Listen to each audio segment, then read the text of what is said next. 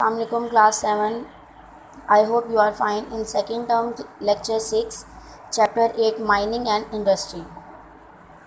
हमारा second term syllabus का ये लास्ट चैप्टर है क्लास आई होप आपको प्रीवियस लेक्चर समझ आए होंगे और आपने याद भी किया होगा काम. आज जो मैं जिस टॉपिक को आपको रीड करवाने जा रही हूँ mining as an industry mining किसे कहा जाता है? और इंडस्ट्री टर्म तो आपने पहले भी इंडस्ट्री वाले चैप्टर से समझी होगी.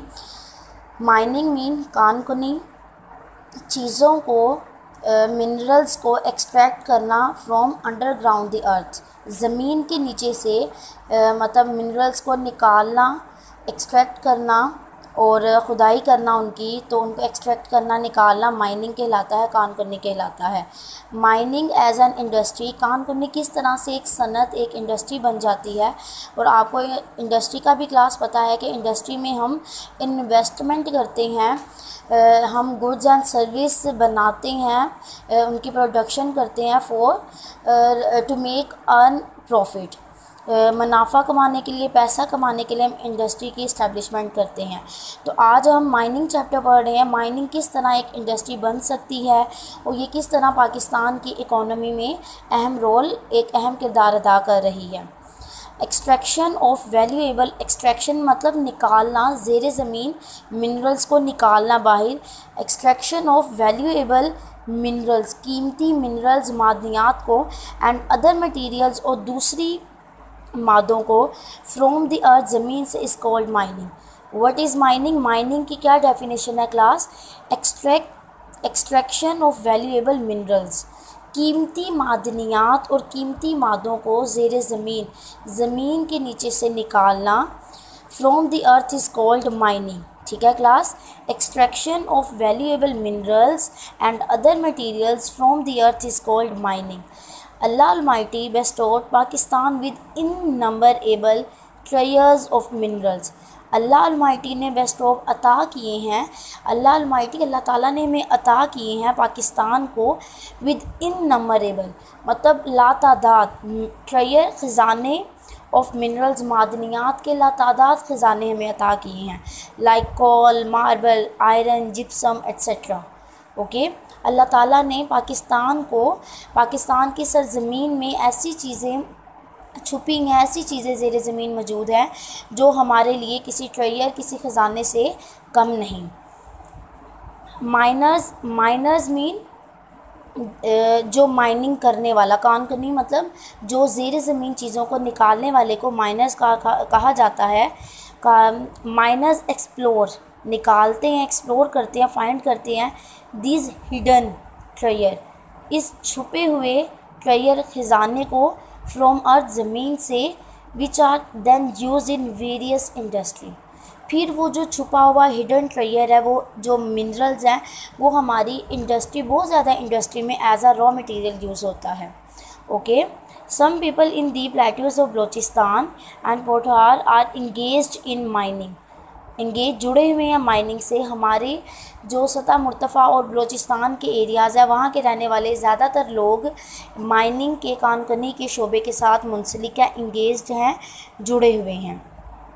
इट इज़ रिगार्डेड इसको इस तरह लिया जाता है as an industry and an important source of employment जो काम नहीं करेगा, जो माइनिंग करेगा माइनर जो होगा, वो एम्प्लॉय बन जाएगा, उसका मुलाजिम बन जाएगा।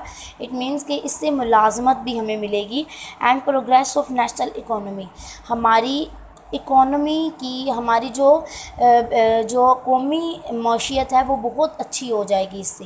कि हम जो एक्सट्रैक्शन करेंगे, जो मिनरल्स मटेरियल हम एक्सट्रैक्ट करेंगे, निकालेंगे, वो हम इंडस्ट्री में यूज़ करेंगे।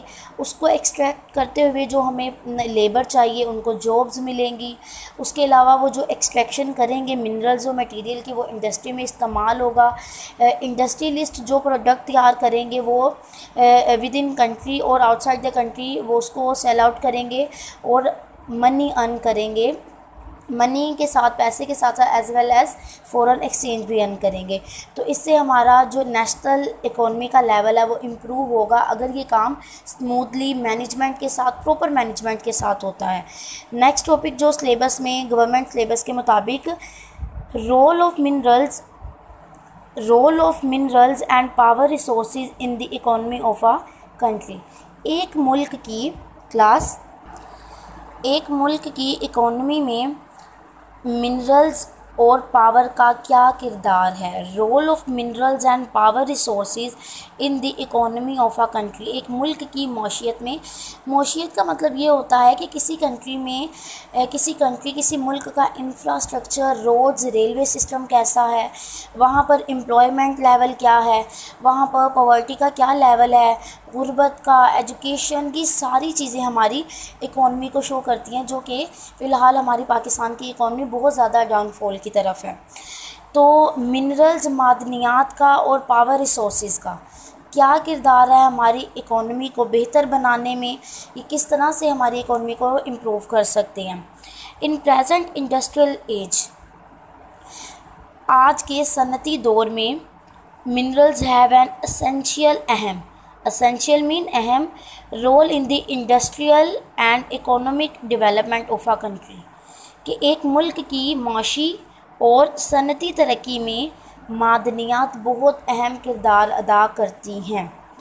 They are important for economic development ये हमारी मोशी तरक्की के लिए एंड एफ्लुएंट सोसाइटी हमारी सोसाइटी को हेल्दी हेल्दी मीन अमीर बनाने में अहम किरदार अदा करती हैं।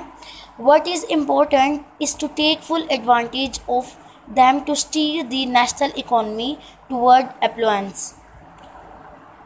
अपनी, हमारी इकोनॉमी को एक लेवल में लाने के लिए, एक हेल्दी एक इकोनॉमिक डेवलपमेंट के लेवल पे लाने के लिए, ये किस तरह से हम इनसे फ़ायदा उठा सकते हैं हम किस तरह से इनसे फ़ायदा उठा सकते हैं minerals are used in industries as raw materials जो मादनियात हैं, वो इंडस्ट्रीज़ में एज आ रॉ मटेरियल भी यूज़ होते हैं।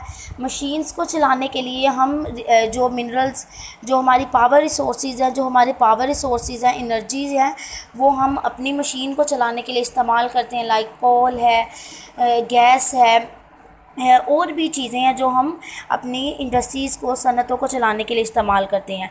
Among them iron is of utmost importance सबसे ज़्यादा अहमियत रखता है oil coal and natural gas provide energy to industry अभी मैंने बात की आपके सामने के सनतों को सनतों की मशीनों को इलेक्ट्रिसिटी पावर को चलाने के लिए oil coal and natural gas provide की जाती है ताकि वो मशीनरी रन आउट कर सके। ओके क्लास आई होप आपको role of minerals and power resources in the economy of a country समझ आया होगा कि किस तरह मिनरल्स और जो पावर रिसोर्सेज हैं वो इंडस्ट्री को as well as economic development में किस तरह अहम किरदार अदा करते हैं।